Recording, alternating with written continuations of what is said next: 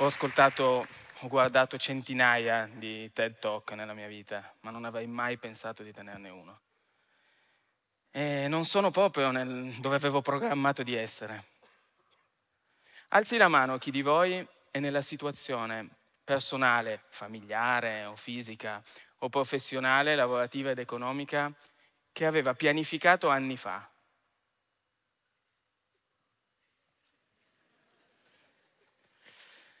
Mi chiedo quindi se chi siamo, dove siamo, sia il risultato di una pianificazione, di un eh, metodo, di un controllo attento delle nostre azioni e delle relative conseguenze, oppure sia il risultato di una serie di reazioni ad avvenimenti casuali che ci sono successi.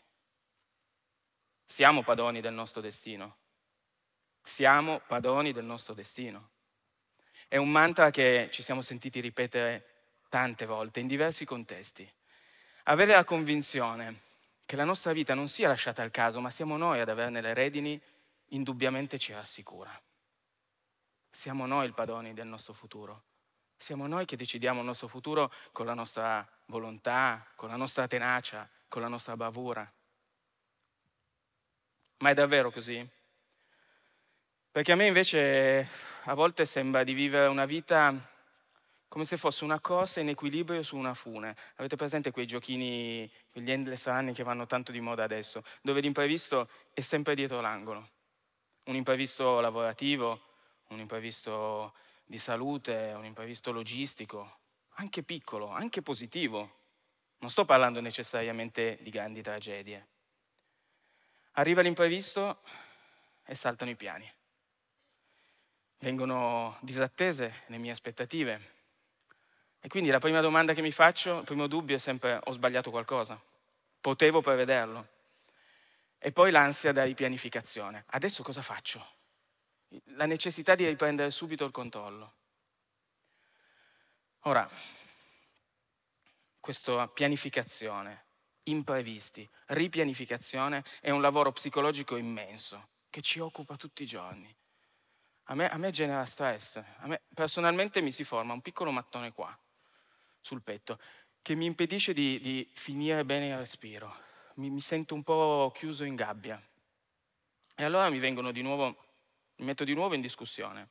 Possibile che non riesco a godermi quella quotidianità che ho faticosamente costruito in tanti anni? Possibile che non riesco a vivere la mia giornata con, con maggiore leggerezza?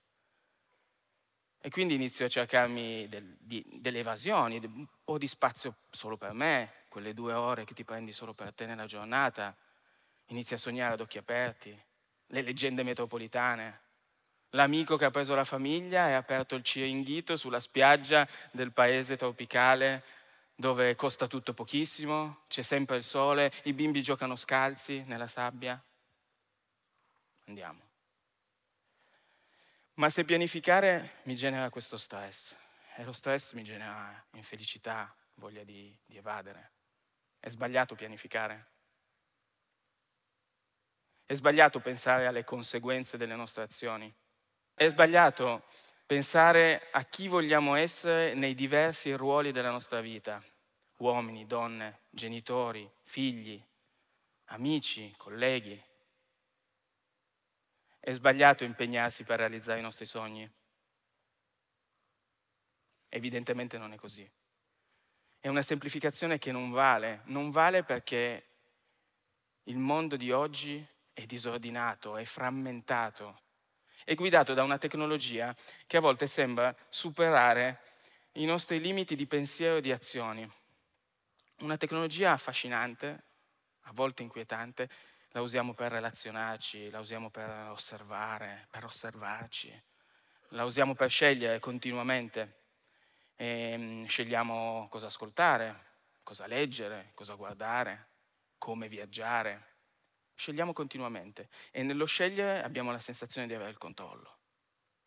Poi ci guardiamo intorno e vediamo, sì, un mondo controllato, ma condito da insicurezza, nevrosi, disarmonia. perché viviamo in un mondo complesso, perché è difficile orientarsi in un mondo complesso. E complesso non vuol dire complicato, intendo complesso nel suo significato originario. Complesso significa intrecciato insieme, è un concetto di molteplicità e unità al tempo stesso. È un mondo che sia globale sia locale allo stesso tempo. Un mondo che va veloce, un mondo che è accelerato, ogni cosa è un sistema. Sembra quasi che il mondo si sia evoluto e sia entrato nell'era della complessità e la nostra mente ancora no, che noi stessimo arrancando dietro questo mondo. E quindi? Fino adesso vi ho buttato lì qualche pensiero, un po' di domande, qualche banalità, un po' di ansia. Effettivamente se ci mettiamo a guardare questo mondo e a pensare c'è il rischio di rimanere paralizzati. Io li capisco bene i, i, i giovani di oggi, che quelli, che quelli, che non hanno voglia di alzarsi dal letto, quelli che non hanno voglia di uscire di casa. Solo che oh, io, io ho due figlie piccole, cosa le racconto? Avevo bisogno di un'ispirazione, di, di un'idea. L'ho cercata e forse l'ho trovata nel mondo dello sport. Lo vivo tutti i giorni e racconta delle storie straordinarie.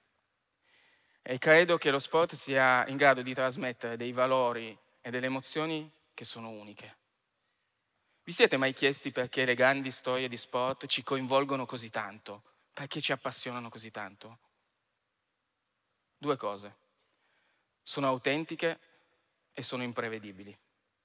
Provate a guardare un atleta nel momento della sua gara, nel momento della sua partita, nel suo momento. Osservate per un attimo il suo volto. Guardate la tensione, l'agone che ha in quel momento. È autentico, è reale. Lo sa che non ha un secondo chuck, che non ha un replay.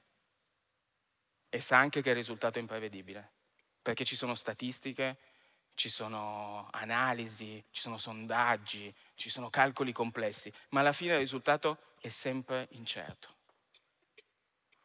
E non è forse questo quello di cui stiamo parlando? Non è così la nostra vita quando affrontiamo la complessità del mondo? È vita vera ed è imprevedibile. Allora mi sono detto, guardiamo come fanno loro. Come fanno i protagonisti di queste storie straordinarie che guardo con tanta ammirazione ad affrontare l'inevitabile imprevedibilità delle loro sfide? la pressione dei media, le aspettative dei fan, l'attimo che li paralizza prima di entrare in campo, ce l'avranno anche loro. Cosa fanno? Improvvisano, semplificano, lasciano che sia il caso a decidere la vittoria o meno, oppure hanno tutto sotto controllo e sanno esattamente quale sarà il risultato. Beh, nessuna delle due. O meglio, entrambe si preparano al meglio, si allenano, agendo su tutte le leve su cui hanno il controllo, l'alimentazione, la preparazione fisica, il riposo, le analisi tecniche, la tecnologia, e poi danno il massimo, senza risparmiarsi, senza lasciare niente. A volte vincono, a volte perdono, per uh, bravura degli avversari, per un imprevisto, per un errore ma possono essere frustrati, possono essere stressati se sanno che si sono preparati al meglio e poi hanno dato il massimo nel momento della performance. Ecco, secondo me lo sport ci dà gli strumenti per affrontare questa complessità, o quantomeno ci dà un'ispirazione. Allenarsi tutti i giorni, dando il meglio di noi e cercando di imparare ogni giorno qualcosa di nuovo, con curiosità, senza pigrizia. E poi però essere in grado di affrontare ogni singolo evento della nostra vita, ogni momento con consapevole leggerezza. Disciplinati, ma non severi con noi stessi. Responsabili, ma non in colpa. Coraggiosi nell'affrontare una nuova sfida, nell'uscire dalla nostra zona di comfort, senza essere bloccati dalla paura di fallire perché il fallimento non esiste, il fallimento è un tentativo che non è andato a buon fine. Esistono le sconfitte, esistono le delusioni, esistono le ferite, anche profonde, quelle che ti lasciano il segno. Ma bisogna essere consapevoli che queste ci servono soltanto a migliorare, a essere a crescere, a essere più forti nel momento in cui affronteremo la prossima sfida. Ecco, questa idea, questo approccio mi è piaciuto fin, fin da subito. Mi ha, mi ha, tolto un pezzettino di quel peso che avevo qui e sto cercando di applicarla nella, nella quotidianità, nel, nel, lavoro, oggi su questo palco, con un successo più o meno, insomma sto iniziando. E poi ho provato a portarla in un progetto che andasse al di là di me stesso, che lasciasse il segno. E insieme ad alcuni soci e amici abbiamo iniziato un'avventura che abbiamo chiamato Acto, che significa agisci, play in esperanto. E con Acto abbiamo due obiettivi. Quello di offrire ai giovani dei paesi emergenti una formazione professionale di qualità e accessibile. E poi di offrire loro dei posti di lavoro, delle opportunità di lavoro concrete nel mondo dello sport. Siamo convinti che l'educazione sia una delle sfide più importanti per un futuro sostenibile del nostro pianeta. E crediamo nei valori dello sport e vogliamo fare la nostra piccola parte. Acto è stata lanciata lo scorso anno, a ottobre, a Capoverde e quest'anno arriverà in Portogallo e in Brasile, coinvolgendo migliaia di giovani e offrendo centinaia di possibilità di lavoro. Ce la faremo? Mi piacerebbe potervi dire che sono sicuro, ma il futuro è imprevedibile. Intanto ce la mettiamo tutta e ce la giochiamo. Grazie.